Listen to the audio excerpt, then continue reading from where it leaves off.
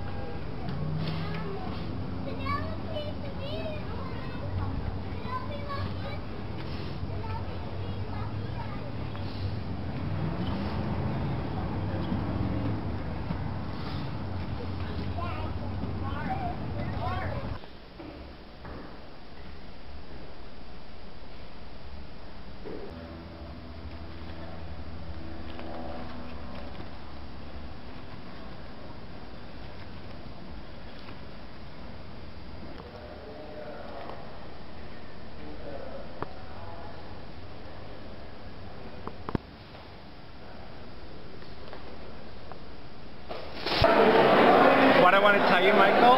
Yeah. It's like, I think it's like, art is like a calling. Okay. So the thing that's so kind of, you want to be in the video? Would you like to be in this video? It's reporting on. Yes. Yeah. What brings you here tonight? Why are you here? Why are you here? You're a collector? No. You're an artist? No. You're on vacation?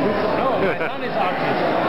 That's your son, is show? Congratulations. Oh, thank you. That's wonderful. That's wonderful. It's wonderful. Congratulations. Oh, it's wonderful.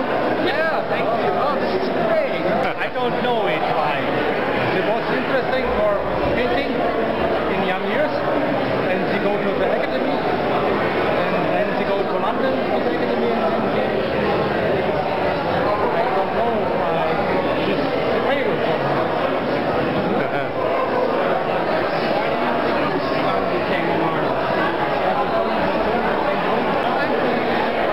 So do you think artists, they, they, they just cannot help themselves. They have to become artists. You know what I'm saying? Yeah, yeah, no. Is that true or what?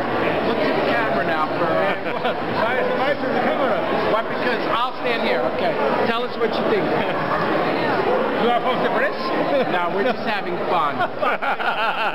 okay. But why, why did you become an artist, do you think? I don't know.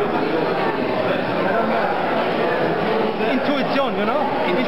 Intuition. What's that? In, intuition. Intuition. Yeah.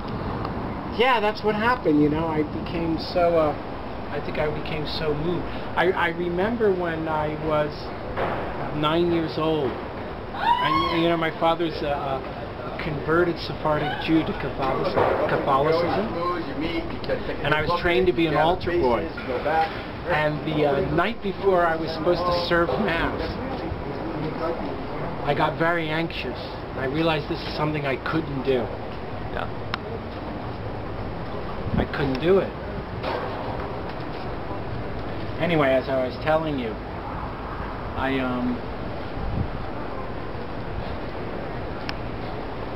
I just became very. Uh, see, my friend, the artist. You see how these artists are just they're out of the box. That's why they're so beautiful.